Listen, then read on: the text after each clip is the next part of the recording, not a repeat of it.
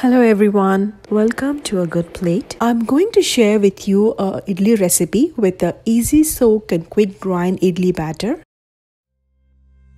Take a large container. Take 4 cups of idli rice. The measuring cup I use today is the electric rice cooker cup. 1 cup of whole urad dal or minnapappu. 1 cup of poha or atukulu or flattened rice. Half a cup of saggubiyyam or sabudana Add water and rinse once or thrice. Drain the water. Add around 2 liters of water or enough to cover the ingredients at least 2 to 3 inches above. Soak for at least 6 hours. It is time to grind. I am grinding after 7 hours of soaking. Save around 4 cups of water and drain the rest. We will use the saved water for grinding the batter. To the wet grinder, add 1 cup of water. Turn on the wet grinder, add the soaked and drained ingredients. While adding the idli batter ingredients, add a cup of water so that the grinding stones do not get stuck. After adding all the soaked and drained ingredients to the grinder, add 1 more cup of water, cover with the lid and grind for 30 minutes. Scrape the sides once or twice during grinding. If the batter looks thick and the grinder is struggling, then add around 1 4th cup of water. After 30 minutes of grinding, add 2 teaspoons of sea salt. Grind for a few seconds for the salt to combine with the batter. Stop the grinder. Batter is ground to smooth texture. Transfer the batter to a large container. Add about 1 4th cup of water to the grinder to remove any remaining batter and add this to the batter container.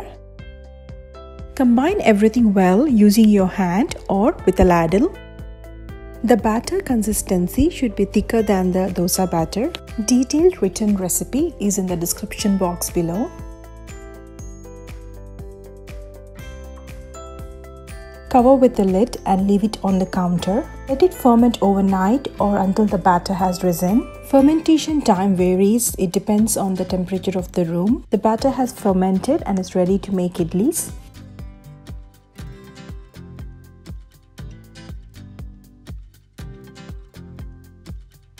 Heat water in a vessel to steam the idlis. Around 2 to 3 cups of water. Put on medium flame. Cover the vessel with a lid. While the water is getting heated, let's grease the idli plates with ghee or oil. Do not stir the batter. Scoop the batter and fill in the plates. Refrigerate the remaining batter and use within 5 days. The remaining batter can be used to make idlis one more time or can be used to make dosas or uttapam Water is ready.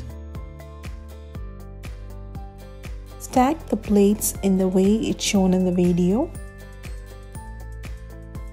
Holes on the above plate should align with the batter in the plate below. Place the idli plates in the water steaming vessel. Cover with the lid. Steam for 7 minutes on medium flame. After 7 minutes, turn off the flame. Let it rest for 5 minutes. After 5 minutes, open the lid and let it rest for 2 minutes. Dip the idli scooper in water each time before you scoop out the idli. This helps in neat scooping of the idli.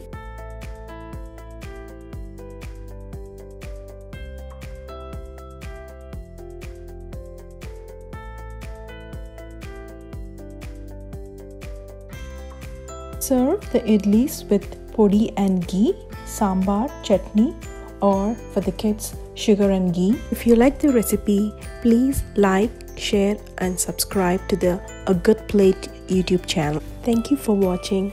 Happy cooking.